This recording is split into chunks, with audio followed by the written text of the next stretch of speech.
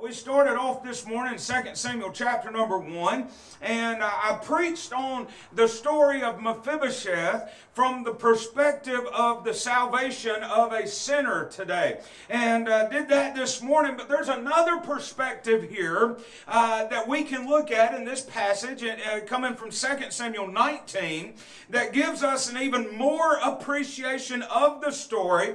And uh, that's what I want to look at, and that's the perspective of the faithfulness of a saint. The faithfulness of a saint. And uh, you can go on and on. I was talking to Miss Nicole about this. One of the amazing things about the Word of God is simply that it is inexhaustible. You can read a passage and you can just, uh, you can read a passage and you can pray and you can study. And uh, I promise you, you will just, it will just keep on. It's a dynamic book tonight and it will just keep on. Uh, it's a living Word. And, and I tell you, as I was studying, I was just like, Lord, where do you want me to stop at? Because there's so many different ways, so many different messages that, that, that come to mind out of these verses. And I really feel like uh, this is where the Lord would have us to be tonight. And so uh, let's look in 2 Samuel chapter number 19, and let's look in verse number 24. Read it with me tonight. In uh, verse number 24, the Bible says, And Mephibosheth, the son of Saul, came down to meet the king and, and had neither dressed his feet, nor trimmed his beard, nor washed his clothes, from the day the king departed until the day he came again in peace. And it came to pass when he was come to Jerusalem to meet the king, that the king said unto him, Wherefore wentest not thou with me, Mephibosheth? And he answered, My Lord, O king, my servant deceived me, for thy servant said, I will saddle me an ass, that I may ride thereon and go to the king, because thy servant is lame. And he has slandered thy servant unto my lord the king. But my lord the king is an angel of God. Do therefore what is good in thine eyes. For all of my father's house were but dead men before my lord the king. Yet didst thou set thy servant among them that did eat at thine own table. What right therefore have I yet to cry any more unto the king? And the king said unto him, why speakest thou any more of thy matters? I have said, Thou and Ziba divide the land. The and, and Mephibosheth said unto the king, Yea, let him take all, for as much as my lord the king is come again in peace unto his own house.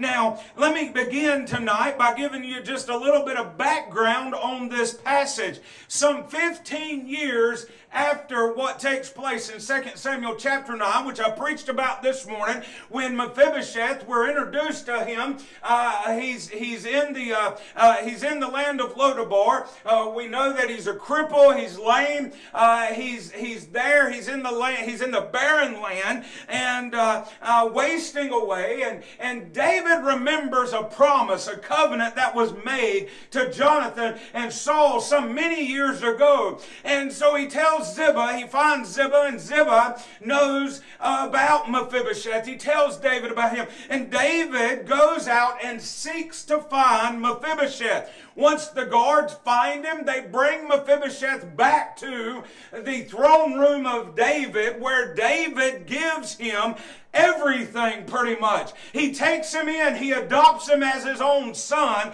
And what a beautiful picture of amazing grace that we have in the story of David and Mephibosheth right there in chapter number 9 of Second Samuel. And, uh, and so here we are some 15 years later. Uh, nothing more is said about Mephibosheth until we get here 15 years down the road. And we find that Absalom has led a rebellion against his father David, and David has been driven out of Jerusalem. David, uh, uh, David, uh, uh or Ziba, David's servant, and the overseer of Mephibosheth, Jonathan's son, has cheated Mephibosheth, so to uh, uh, it just so happens here, we're told that he's cheated Mephibosheth and deserted Mephibosheth and left him behind with Absalom, even though he supposedly wanted to go with Ziba. As a matter of fact, you can read about that if you turn back uh, just a couple chapters in chapter number 16. Look at what verses 1 through 4 says of 2 Samuel chapter number 16. It says, And when David was a little past the top of the hill, behold, Ziba, the servant of Mephibosheth, met him with a couple of asses saddled, and upon them 200 loaves of bread, and a hundred bunches of raisins, and a hundred of summer fruits, and a bottle of wine. And the king said unto Ziba, What meanest thou by these? And Ziba said, The asses be for the king's household to ride on, and the bread and summer fruit for the young men to eat, and the wine that such as that such as be faint in the wilderness may drink. And the king said, And where is thy master's son? He's talking about Mephibosheth right there. And Ziba said unto the king, Behold, he abideth at Jerusalem. For he said, Today shall the house of Israel restore me the kingdom of my father. And what he's pretty much said there, Ziba looked at him and said, he sided with Absalom, is essentially what that means. Verse number four says, Then the king said, or then said the king to Ziba, Behold, thine are all that pertained unto Mephibosheth. And Ziba said, I humbly beseech thee that I may find grace in thy sight, my lord, O king. Now Ziba tells David that Mephibosheth sided with Absalom right there. Now, uh, fast forward again, where our text is tonight in chapter number 19, uh, Absalom is now dead. And David is returning to Jerusalem. And and he meets Mephibosheth, whom he thinks has been a traitor. Now, Mephibosheth was probably the last person he expected to see here. Yet here he is in verse number 24 of 2 Samuel chapter number 19. Prince Mephibosheth is not arrayed in princely robes. He's not arrayed in sweet smelling oils, golden chains, or rings as a member of David's court. Instead, he's a mess and he stinks. The bandages on his crippled feet have not been changed at all. His beard or his mustache had not been trimmed. And this was a sign of shame. It was a sign of sorrow and mourning because back in that day, beards were cared for with great pride and with great joy. They were very special to the men and they were, they were kept, they were always kept well groomed. And he also stunk here. He had not washed his clothes since the king's departure. Now Mephibosheth had no desire, it seems, to live in comfort while the king was a fugitive. I believe it was his intention to show his grief and loyalty to David and others, even though he might have, even though he might would have been hated by Absalom. And Mephibosheth longed for the presence of the king. He longed for the king's return. His attitude was a great example for you and I tonight. We should long for God's close fellowship each and every day. That longing can be fulfilled because the Holy Spirit indwells each and every believer tonight. We are able to fellowship with the Lord because of His presence in our life. Romans chapter 8 verse 9 says, But ye are not in the flesh, but in the Spirit. If so be that the Spirit of God dwell in you. Now if any man have not the Spirit of Christ, he is none of his. Now, listen to me tonight. We also, as children of God, should be longing for the return of Jesus Christ. See, Mephibosheth was, was helpless. He was a helpless cripple. He was waiting for a better time. And the better time finally came right here. And God's creation right now is waiting for a better time. Romans chapter 8 verse 22 says this, For we know that the whole creation groaneth and travaileth in pain together until now. And not only they, but ourselves also, which have the first fruits of the Spirit, even when even we ourselves groan within ourselves, waiting for the adoption, to wit, the redemption of our body. For we are saved by hope. But hope that is seen is not hope. For what a man seeth, why doth he yet hope for? Do you remember last Sunday, Easter Sunday, when I pointed out that those words about the first fruits and how Christ was the first fruits? It's evidence that there's going to be a greater resurrection one of these days. He's simply the first fruits.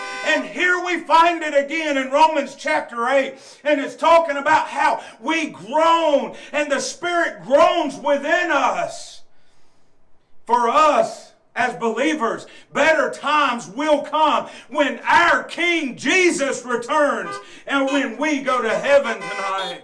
That will be our better day. I want you to notice something here that convicted me.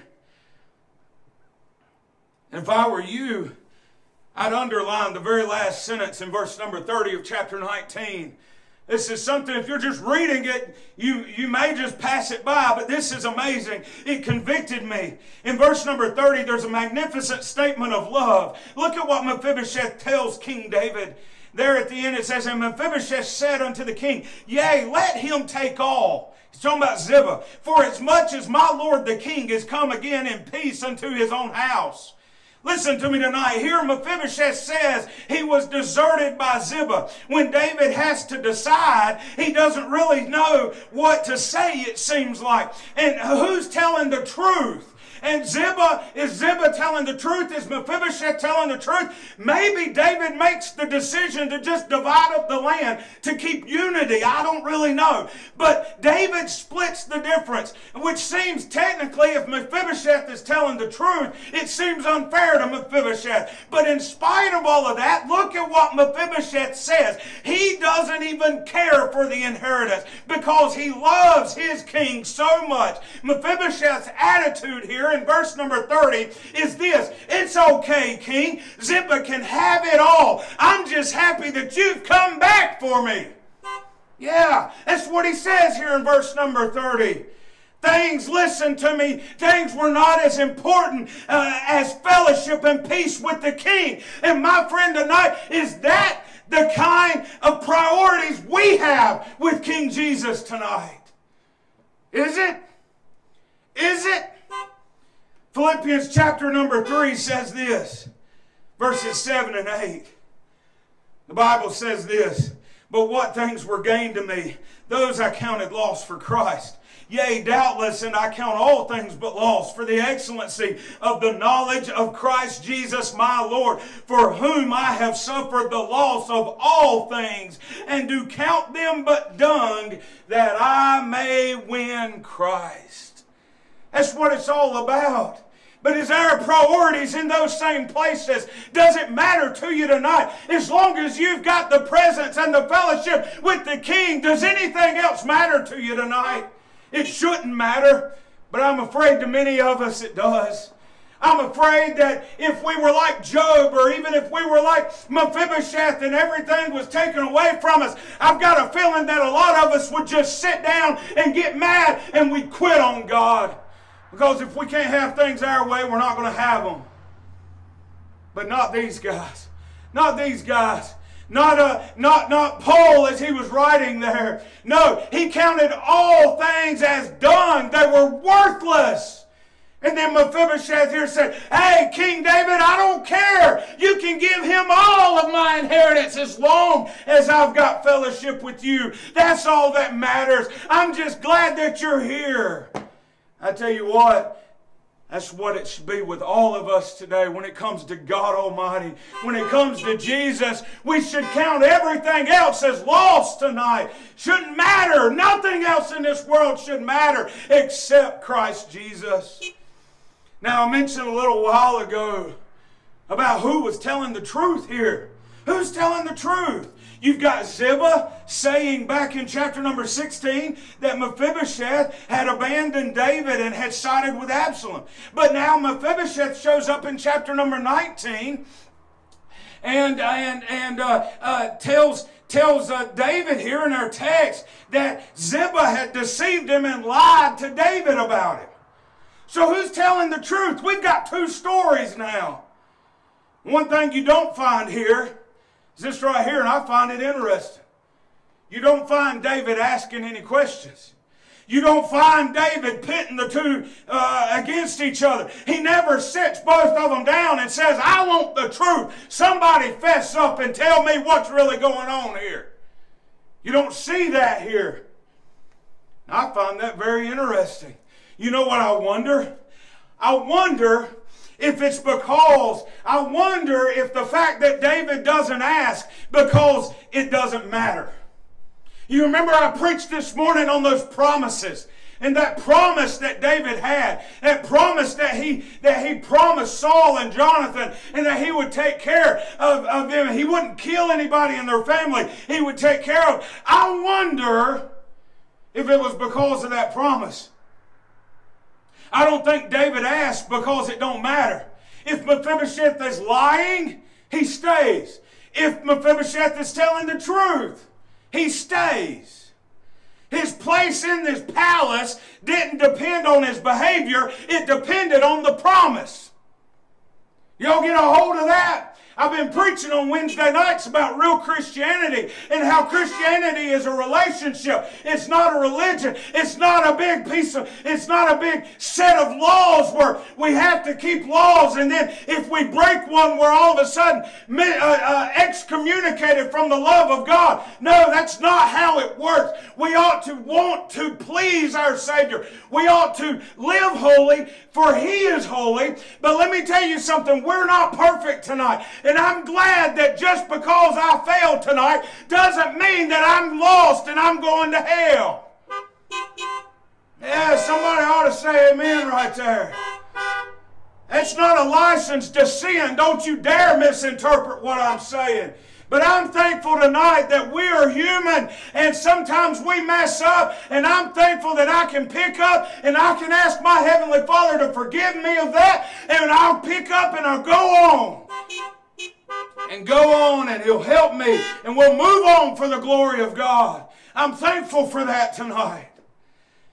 And the same thing we see right here. You know, we wonder, I wonder to think a minute just about, about, uh, about David's loyalty here. Listen, I, I, said it this morning, Mephibosheth, he brought nothing to the table. He didn't even know that David was looking for him.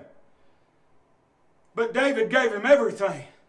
I think if we were able to ask David this evening, what, where did he get this kind of love? Where did he get this kind of promise keeping mentality from? I think he'd just point us from his story to God's story tonight. God set the standard today for keeping covenants, did he not? Think about what the Bible says in the book of Deuteronomy, chapter 7, verse 9. Know therefore that the Lord thy God, he is God, the faithful God, which keepeth covenant and mercy with them that love him and keep his commandments to a thousand generations. That's a long time, ain't it?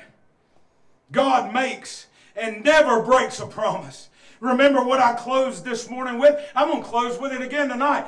Titus, the book of Titus, chapter 1, verse 2, the Bible says, In hope of eternal life, which God that cannot lie promised before the world began. That promise tonight runs like a scarlet thread through the tapestry of Scripture tonight.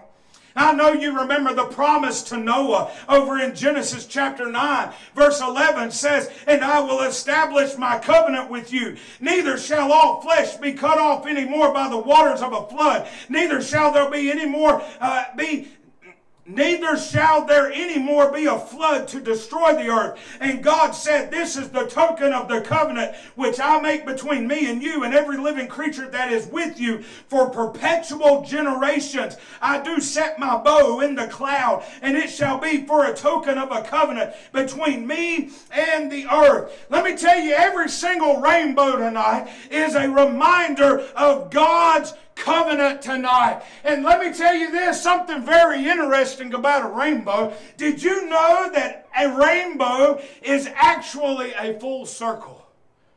Every rainbow is a full circle.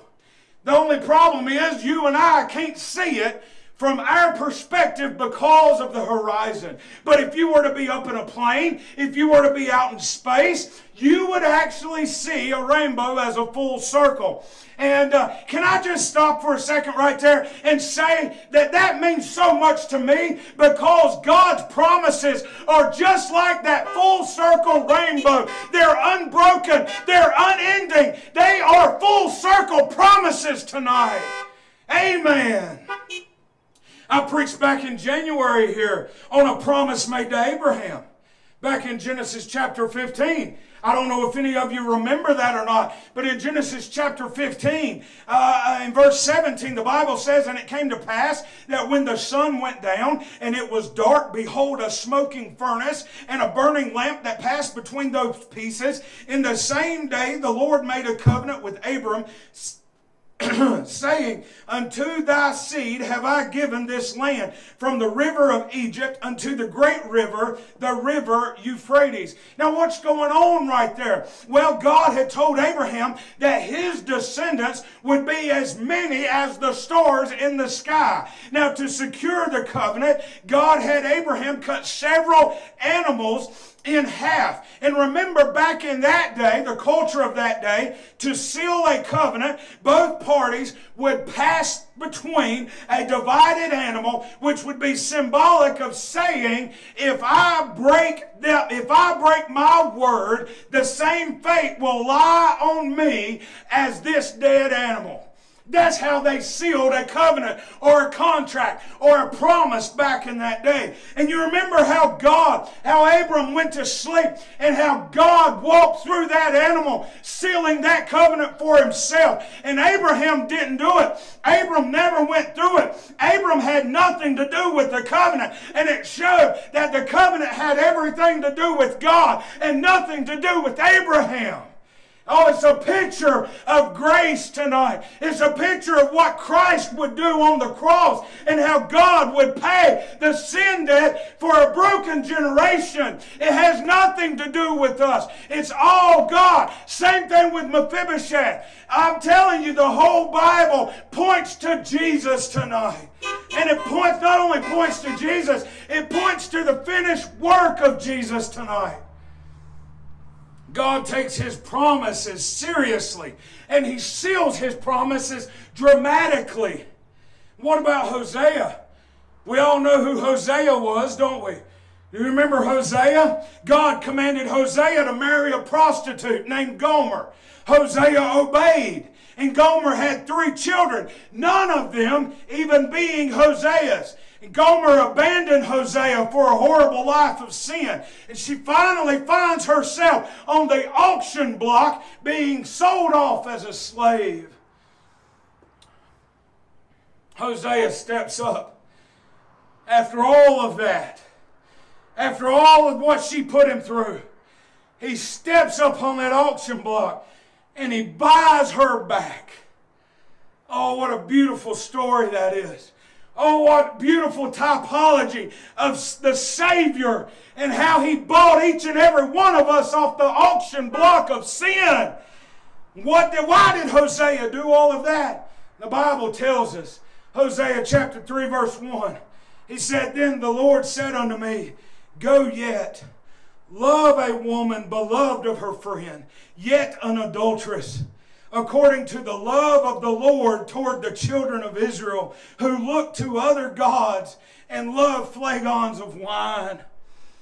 What he's saying there is it's to be a type of the love that Jesus had for the children, or the love that God had, the Lord had for the children of Israel. He loved them so much, even though they were an adulterous generation. They, they, uh, they, they went, as the Bible says, a whoring after other gods. They loved their wine. They loved everything else but their God. But yet He loved them anyways. And He went to the auction block of sin after they messed up and he bought them anyways because he loved them. I'm thankful tonight that we have a God that loves us. I'm glad tonight we've got a God that keeps his promises. You want to know about the promise keeping of God? Just look at Noah.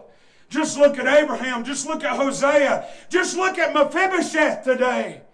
If you want to know about God's covenant keeping, there's nothing that we can bring to the table for God tonight. He just wants us.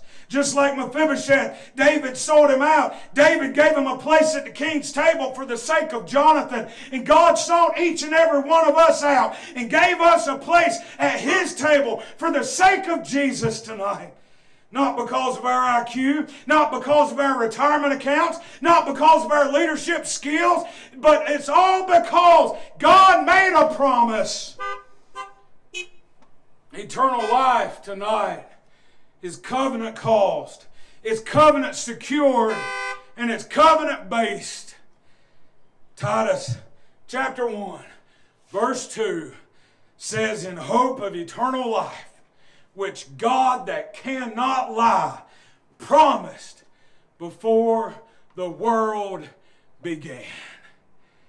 And it's all right here in the Old Testament, in the story of Mephibosheth. I said it this morning, and I hope I never get over it. We're all just like Mephibosheth. And I don't ever want to get to get over that day when a messenger came by my way and said, Hey, buddy, the king wants you to come sit at his table. Why? Because of a promise that was made that's never going to be broken. And it's the same promise we have tonight the promise of eternal life. All we have to do is accept it. Let's pray tonight. Dear Heavenly Father,